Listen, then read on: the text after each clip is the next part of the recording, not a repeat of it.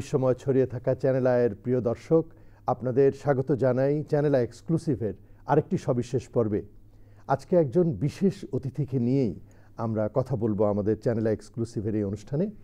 তিনি একাধারে ব্যবসায়ী ব্যক্তিত্ব, ব্যবসায়ী সমাজের নেতা, বর্তমানে ঢাকার উত্তর অংশের যে সিটি কর্পোরেশন ডিএনসিসি বলে আমরা যাকে পরিচিতই দিয়ে থাকি, সেটির মেয়র এবং এক সময়কার তুখোর টেলিভিশন উপস্থাপক। মিস্টার মেয়র আপনাকে চ্যানেল এক্সক্লুসিভে স্বাগত জানাই। ধন্যবাদ রানা। এরকম একটা এক্সক্লুসিভ অনুষ্ঠানে বহু বছর পর চান্স পেলাম। মনে হচ্ছে যোগ্যতা একটু বাড়ছে। আপনার উপস্থাপনা শৈলী আপনি আরেকবার প্রমাণ করলেন আনিস ভাই। শুরু করি এরকম আমরা একটি প্রশ্ন দিয়ে যে অনেকেই বলেন যে আওয়ামী লীগের মধ্যে হাইব্রিড মানুষজনের আনাগোনা বাড়ছে এবং যারা ত্যাগী বা দীর্ঘ জীবন কাটিয়েছেন এই দলীয় রাজনীতিতে তারা বাদ দিয়ে বা তাদের বাদ দিয়ে আমরা। মুখ্য সব পোস্ট পদবিগুলো চলে যাচ্ছে। How do you look into আমার মনে হয় যে আমি জানি না এভাবে হাইব্রিড দখল ঠিক কী জিনিস? তবে আমার বেলায় বোধহয় একটু ভিন্ন। আমি বোধহয় একটু বেশি ভাগ্যবান। এই কারণে যে এই আজকের উত্তর সিটি মেয়র কর্পোরেশন হওয়ার জন্যে আমি কোনো লবিং করিনি আমি মানে মানে আমার প্রত্যেকটা মানুষের এক ধরনের স্বপ্ন থাকে একটা রাডার থাকে জীবনে যার পরিব্যাপ্তিতে অনেক কি ডোমেইনে আমি আমি থাকব। থাকব। আমার এটা কখনোই মাথায় ছিল না। মানে আমার ভাগ্য যে মাননীয় প্রধানমন্ত্রী বরং নিজ থেকে ভেবেছেন যে উনি আমাকে এই দায়িত্বটি দেবেন। প্রথম দিকে বরং দু এক মাস একটু দূরে দূরেই ছিলাম ভয়ে যে এত বড় দায়িত্ব কখনো সেভাবে রাজনীতির মধ্যে আসিনি সরাসরি। সুতরাং আমি ঠিক হাইব্রিডের কাতারে বোধহয় পড়ব না, কারণ আমি ওনার একটি উপহার গ্রহণ করেছি।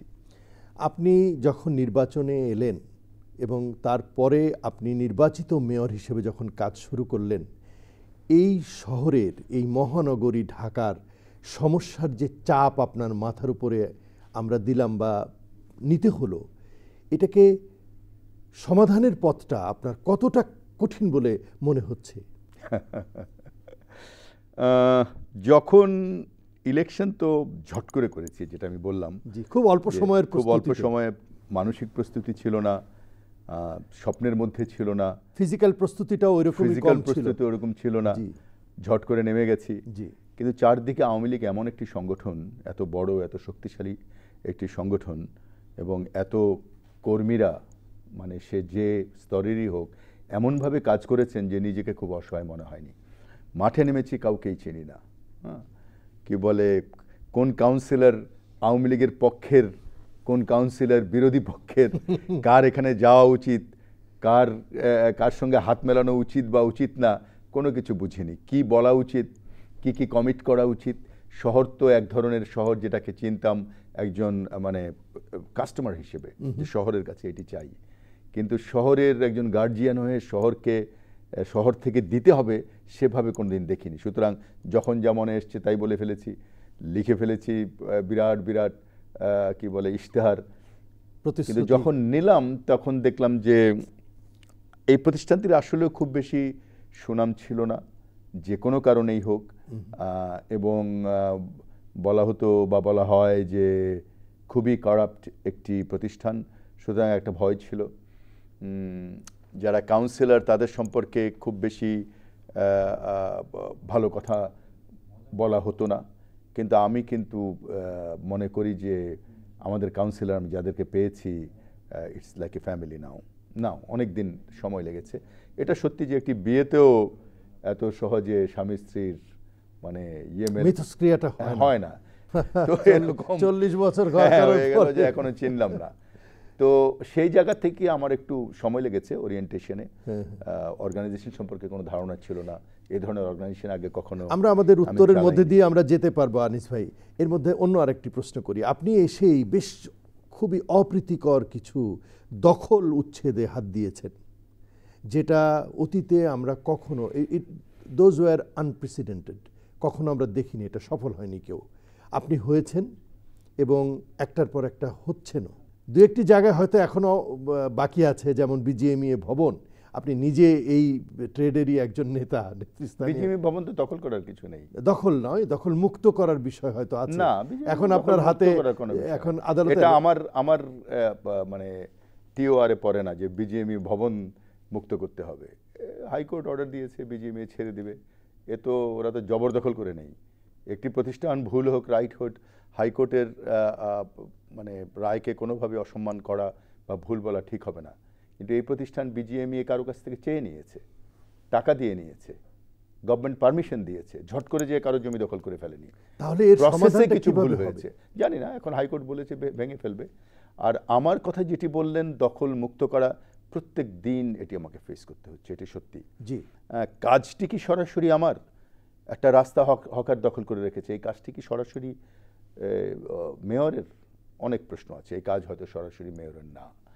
এই যে আপনার টার্মস অফ রেফারেন্স বা টিওআর যেটা কথা বললেন হয়তো সরাসরি পড়ে দেখেন এই যে আপনার পাশে কি সবাই বলে চল্লিশ বছর থেকে তেজগার এই রাস্তাটি দখল হয়েছিল অথবা গাবতলি আমিনবাজার হ্যাঁ, এই সাকসেসটা হয়তো আল্লাহর একটা রহমত যে হয়ে গেছে আমি অনেক নেগোশিয়েট করেছি ওনাদের সঙ্গে। এমন না যে গাবতলিতেও তো একটা ভয়ঙ্কর অবস্থা ছিল। হ্যাঁ একসময় দু ঘণ্টা আড়াই ঘণ্টা লাগতো এখন পাঁচ মিনিটে যেতে পারে। এরকম দশটি জায়গা হয়েছে আসলে। গাবতলি আমিনবাজার মোহাম্মদপুর তেজগাঁও। তেজগাঁ কি বলে মহাখালীর সামনে দশটি জায়গা। এবং আমরা খুশি যে এগুলো এখনও মেনটেন হচ্ছে। তবে এই কাজটি সরাসরি মেয়রের না। কিন্তু উপায় নেই। মেয়রকে কোনো না কোনোভাবে একটি ভালো শহর লিভেবল শহর বলে ঢাকা নয়, সেটাকে লিভেবল করার চেষ্টা করতে হবে। যেমন হকার উচ্ছেদ করছি, তেমনি বড়লোক যারা দখল করে আছেন, বিশেষ করে গত, এই দু মাস থেকে আমি গুলশান এভিনিউ গুলশানের সমস্ত এলাকায় দেখছি, দেশ চালান বা দেশ চালিয়েছেন এরকম অনেক শক্তিশালী লোক আছেন। তবে আমরা খুব খুশি যে প্রত্যেকেই আমাদের সঙ্গে সহযোগিতা করছেন। এক দুজন একটু চেষ্টা করেছেন। আমরা বসেছি, অনুরোধ করেছি, কখনো কখনো শক্ত হয়েছি কিন্তু ঢাকা শহরে তো হাজার হাজার বিঘা জমি দখল করা। এবং গরিব বড় লোক সবাই দখল করে আছেন হাজার হাজার বিঘা জমি। এটা কি করে করবেন? এটা তো খুব অপ্রীতিকর কাজ খুবই অপ্রীতকর কাজ কখনো কখনো রিস্কি কাজ। এবং আপনাকে বিপদাপন্ন হতেও হয়েছে এর মধ্যে? হয়েছে কয়েকবার। হ্যাঁ, কয়েকবার এবং এবং বন্ধুত্ব হারাচ্ছি অনেক। অনেক বন্ধুত্ব হারাচ্ছি। কিন্তু একটি কথা সবাইকে বলছি দেখো একজনকে ফেভার করছি আরেকজনকে করছি না এরকম না। আমি যদি তোমাকে ফেভার করতে যাই তাহলে ওকে করতে হবে ওকে করতে হবে ওকে করতে হবে। সুতরাং আমার আমার আমার খুব বিশ্বাস যে যাদের সঙ্গে অনেক যারা একটু অনেক বড় লোক এসব যাদের বাড়ির পাশ থেকে আমরা নিয়ে নিচ্ছি তারা একসময় বুঝবেন যে আপনার অংশে অর্থাৎ ভালো সিটি কর্পোরেশনের উত্তর অংশে বেশ কাজকর্ম হচ্ছে। আমরা ফিজিক্যাল এবং ট্যাঞ্জিবল চোখে পড়ার মতো ফলাফল দেখতে শুরু করেছি। যদিও মাঝখানে কয়েক মাস আমাদের জীবন ওষ্ঠাগত হয়ে গিয়েছিল। সো আপনি হয়তো উত্তর করবেন যে every transition is a painful process আমি আপনার কাছে যে জায়গাটায় পয়েন্ট আউট করতে চাই স্ট্রেস করতে চাই সেটা হচ্ছে যে আপনি কি ওয়ার্কফোর্স আরও বেশি ডিপ্লয় করে এমপ্লয় করে এই টাইমটাকে শর্টেন করতে পারেন কিনা? না ব্যাপারটা এরকম যে কাজ তো হওয়ার জন্যই আমরা এসেছি। জি। এবং আমার সময় লেগেছে অর্গানাইজেশনের মধ্যে একটা ফ্যামিলি অ্যাটমসফেয়ার অ্যাটমসফেয়ার অথবা একটা ফ্যামিলির বন্ডিং তৈরি করতে। বন্ডিং তৈরি করতে। এখন আমি প্রথমে তো ওই যে বললাম না স্বামী স্ত্রীকে বুঝতে কত বছর লেগে যায়। কাউন্সিলরদেরকে আমি বুঝিনি কাউন্সিলররা আমাকে বোঝেননি। যারা অফিস চালান তারা বোঝেননি। যারা এক্সিকিউটিভস আছেন মানে অ্যাডমিনিস্ট্রেশনে তারা বোঝেননি। এখন মোটামুটি সবাই সবাইকে বুঝি এবং সবাই জানি যে কার কে কি করছেন বা করতে চাচ্ছেন। শহর বদলাবে এটাই তো স্বাভাবিক। এই জন্যই তো আমরা এসেছিলাম। এবং আমি তো মনে করি যে এখন থেকে এভরি থ্রি মান্থস আপনারা দেখবেন যে শহর বদলাচ্ছে। কাজ উত্তরে না কাজ দক্ষিণেও হচ্ছে। উত্তরে হয়তো আপনি জানি না আপনি উত্তরে থাকেন বলেই হয়তো জি আমি থাকি আপনার অধীনস্থ। আমরা যেমন করছি আমাদেরকে সরকার সাহায্য করছে। আসলে আজকে এটা যে- আমি সবসময় বলি যে ধরেন এত যে আমরা কিছু কিছু আসলে খুব সাহসী কাজ করতে হচ্ছে বা রিস্কি কাজ করতে হচ্ছে।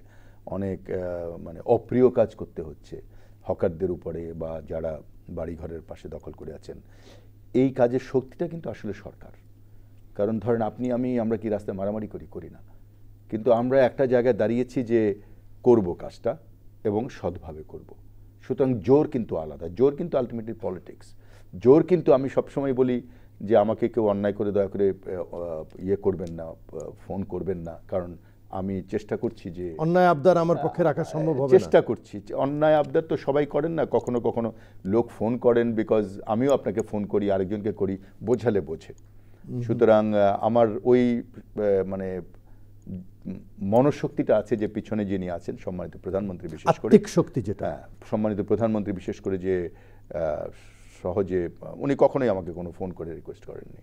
হয়েছে অনেকে ওনার কাছে গেছে অনেক ব্যাপার নিয়ে আমি শুনেছি কিন্তু উনি কোনো গুলশান মার্কেট যেটি এক নম্বরে ছিল ডিএনসিসি মার্কেট যেটা আমরা আসলে গুলশান এক নম্বর মার্কেট বলেই চিনেছি। এবং এই মার্কেটটি প্রথম এলিট শপিং মল হিসেবে পুরো মহানগরী ঢাকার একটা গর্ব ছিল। পুড়ে গেছে মারাত্মকভাবে। অনেকেই অভিযোগ করেছে যে এর পিছনে সিটি কর্পোরেশনের উত্তরের লোকজন নাকি যুক্ত ছিল আগুনের পিছনে। How do you address to that allegation কেন? কি স্বার্থ সিটি কর্পোরেশনের? এটা নাকি ওখানে বহুতল ভবন তাহলে আপনারা? সিটি কর্পোরেশনের স্বার্থ কি? সিটি কর্পোরেশন তো করবে না। করবে তো একজন বিজনেসম্যান ওয়েল সেই জায়গাটা তো এই জায়গাটা সাফ করার পরিষ্কার হ্যাঁ, করার দরকার জায়গাটা আছে। আমরা স্পষ্ট করেছি যে এখন অনেক সহজ হয়ে গেছে। কারণ আমি এইসব মাস্তান টাস্তান আসলে আমি বলেছি ভাই আমার সামনে মাস্তানি করো না। কয়েকজন মালিক ওখানে আছেন যারা এক ধরনের মাস্তানি আসলে। এবং এখন না প্রথমে শুরু করেছেন রাজনৈতিক জোরেই। এবং সেটি করেই আজকে থেকে এটা দু হাজার সতেরো দু হাজার দশে দু হাজার নয়তে যখন এখানে কিছু অস্থায়ী বরাদ্দ দেন আগের প্রাক্তন মেয়র তখন এটা দুটো তালা বাড়ানো হয়েছিল। সেকেন্ড ফ্লোর কনস্ট্রাক্ট করতে যেই দেখে গেছে যে ফ্লোর ফেটে গেছে তখন ওটা ক্যান্সেল করা হয়েছে। বুয়েটকে দিয়ে পরীক্ষা করানো হয়েছে। বুয়েট লিখেছে যে এখানে কোনো ওজন বাড়াবে না। বুয়েট লিখেছে যে এখানে কোনো কনস্ট্রাকশন করবে না। তাদের প্রত্যেককে ডিএনসিসি চিঠি দিয়েছে আমার সময় না আগে। ওইখানে বিলবোর্ড টাঙিয়েছে সেই বিলবোর্ড ভেঙেছে। গুলশান দু নম্বরে আমাদের লোককে পিটিয়েছে এবং তাদের নামে কেস করা হয়েছে। আজকে ছ বছর আগে কেন এটা ভেঙে যায়নি সেটাই আশ্চর্যের বিষয়। এটা যে কোনো সময় ভাঙার মতো অবস্থা শুধু এটা না। আমরা ঝুরঝুর করে এটা ভেঙে যেতে দেখেছি। গত আজকে থেকে দশ দিন আগে আমরা প্রেস কনফারেন্স করে দেখিয়েছি যে বারোটা মার্কেট যে কোনো সময় ভেঙে যেতে পারে।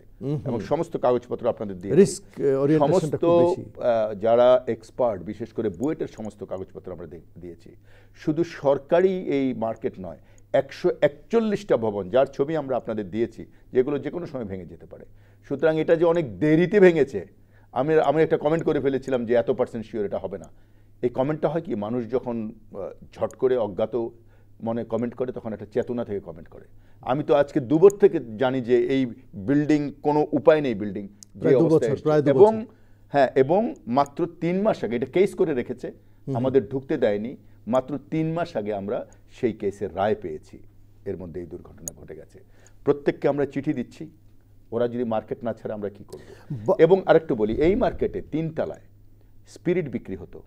হ্যাঁ এই মার্কেটে তিন তলায় দোকান করা হয়েছে যেখানে আমরা ইয়ে পেয়েছি গ্যাস বার্নার পেয়েছি। গ্যাসের কি বলে জার পেয়েছি। রান্না হতো। তো সেই মার্কেট যে এতদিন টিকে আছে এখন কিছু হলেই আমরা সব পিছনে একটা বিরাট দুর্গন্ধ পাই। অনেকবার আপনার সিটি কর্পোরেশন থেকে কিংবা আমাদের বিভিন্ন ধরনের অন্যান্য প্রতিষ্ঠানের পক্ষ থেকে উদ্যোগ নেওয়া হয়েছে গুলশানকে বা আপনার সিটি নর্থ যে মূল এরিয়াটা আবাসিক এরিয়াগুলোকে এলাকাগুলোকে বাণিজ্যিক প্রতিষ্ঠান মুক্ত করা হবে। কিন্তু আপনি যদি তাদের কাছ থেকেই আপনার ক্যামেরার টাকা নেন তাহলে তাদের কাছ থেকে তাদেরকে ওঠানোর ব্যাপারে কি আপনার নৈতিক জোরটা আর ওরকম থাকে? না এর সঙ্গে দুটোর বিরোধ কোনো বিরোধ নেই। আচ্ছা। আপনি একটা দিচ্ছেন সাহায্য করার জন্য। ওকে। আপনি আপনার সিকিউরিটির জন্য দিচ্ছেন। তাহলে তাদেরকে তুলতে পারছেন না কেন? না তোলা এই জায়গাটাতে আবার আমার মত ভিন্ন। আমি বলি আমি এখন একজন সরকারি এক ধরনের তো সরকারি কর্মচারী যেহেতু আমি আপনি প্রজাতন্ত্রের কর্মচারী। হ্যাঁ সরকারি নির্বাচিত প্রজাতন্ত্রের কর্মচারী হ্যাঁ। সহজ করে বললে। হ্যাঁ। আমার দায়িত্ব আছে যে গভর্নমেন্ট যেটা বলে সেটাকে করা। ইমপ্লিমেন্ট করা। কিন্তু তার বাইরেও আমি একজন মানুষ এবং আমি একজন ব্যবসায়ী। জি। সুতরাং যখন এই পারমিশন বলা হয়েছে ক্যাবিনেটে এবং চিঠি লিখছে তখন আমি নিজে এগিয়ে যেয়ে মাননীয় প্রধানমন্ত্রীকে ব্রিফ করেছি আমাদের সম্মানিত মন্ত্রী মহোদয়কে ব্রিফ করেছি যে এভাবে এটা ভাঙা ঠিক হবে না। এটাকে সময় দিতে হবে। হ্যাঁ আপনি ডিসিশন নিয়েছেন আসেন আমরা আস্তে আস্তে ডিসিশন ইমপ্লিমেন্ট করি। আমি কিন্তু ভাঙায় নামিনি। কিন্তু মানে সরকার মানেই তো আমরা সরকার আমাদের হ্যাঁ, ওখানে সরকার তো আপনি। আমরাই আমরাই। হ্যাঁ, না কিন্তু রাজুক ভেঙেছে অনেক। এখন আমরা রাজুক একটা স্টাডি করছে কোন এলাকাকে কীভাবে রিহেবিলিটেট করা যায়। সুতরাং যত সহজে এটাকে ভেঙে ফেলা বা রাখার ব্যাপার দ্বারা এত সহজ না এটা। নিশ্চয়ই কিছু কিছু ব্যাপারে জায়গা আছে ধরেন গত সপ্তাহে রেলওয়ের এখানে আমরা একটা ইয়ে ভেঙেছি কি? তেহেরিয়ান হুইল আচ্ছা। এটা কিছু অসাধু আচ্ছা আচ্ছা বনানী রেল স্টেশনের হ্যাঁ, সামনে রাস্তার পাশে। তিনশো আট ফিটের একটা পারমিশন নিয়েছে তিন হাজার স্কোয়ার ফিট বানিয়েছে। এবং ট্রেড লাইসেন্স নেয়নি। আপনি আপনার জমিতে কি যে কোনোভাবে বিল্ডিং বানিয়ে ফেলতে পারবেন? ট্রেড লাইসেন্স ছাড়া আপনি কোথাও করতে পারবেন কিছুই করা যাবে ওদের সঙ্গে নেগোশিয়েট করি ওখানে শুনলাম মদ টদ ইত্যাদি খাওয়া হচ্ছে। আমরা ওদের কাছে গেলাম যে এগুলো বন্ধ করো। নেগোশিয়েট করা শুরু করলাম যে ভাই এটা তোমার অন্যায় হয়েছে। ও পাত্তাই দেয় না। পাত্তাই দেয় না বুলডোজার চালিয়ে দিয়েছি। হয়ে গেছে শেষ। তেজগা, এটা একটা দুর্গেয় রহস্যময় এরিয়া এক সময় হাতির ঝিল এরকম রহস্যময় একটা বস্তি ছিল, পৃথিবীর সম্ভবত বৃহত্তম বস্তি ছিল। তেজগাকে একটু স্ট্রিমলাইন করা, সুন্দর করা, সুসজ্জিত করা এবং আইনের ভেতরে আনা, সামগ্রিক ব্যাপারটিকে আপনি কীভাবে দেখেন?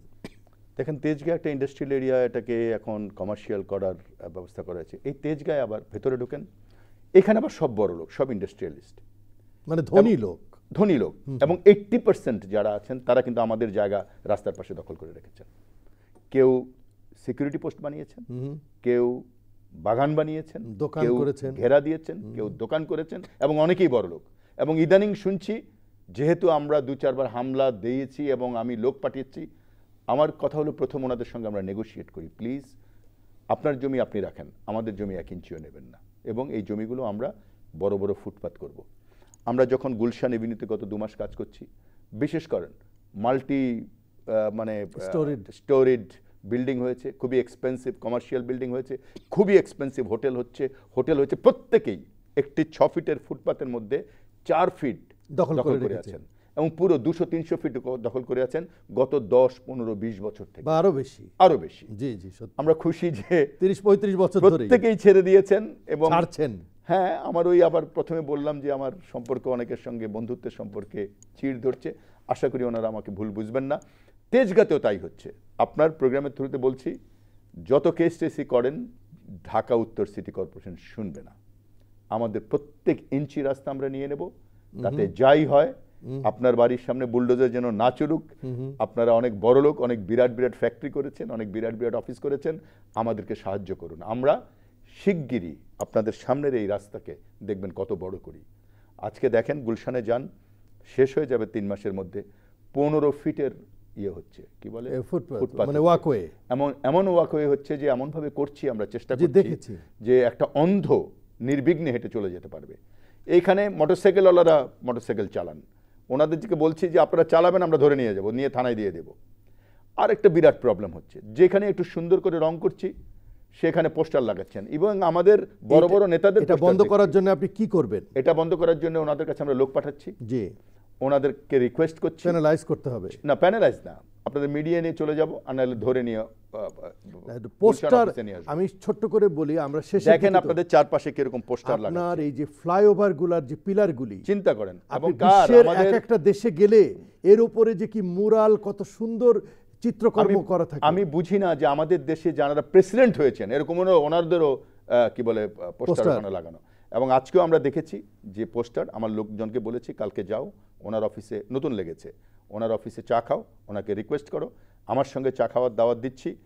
না শুনলে আমরা শোনার ব্যবস্থা আপনার সঙ্গে আসলে বসতে হলে সাতকাহনের শেষ হবে না। তবে আজকের অনুষ্ঠানটি আমরা শেষের পথে আমি শেষ করব কিন্তু আপনাকে একটি ছোট্ট কিউ দিয়ে আপনার কথা শুনতে শুনতে আমরা শেষ করব। আপনি বিল ডি ব্লাজিওর নাম শুনেছেন। নিউ ইয়র্কের মেয়র। রাষ্ট্রযন্ত্র বলেছে, অর্থাৎ ট্রাম্প সাহেবের সাঙ্গপাঙ্গরা এবং উনি নিজেও, যে আমি হ্যান কারেঙ্গা, ত্যান কারেঙ্গা, অভিবাসী তাড়িয়ে দেবো ইত্যাদি। তখন ব্লেজিও বলেছেন, মেয়র ব্লেজিও, যে আমি নিউ ইয়র্কের প্রতিটি নাগরিক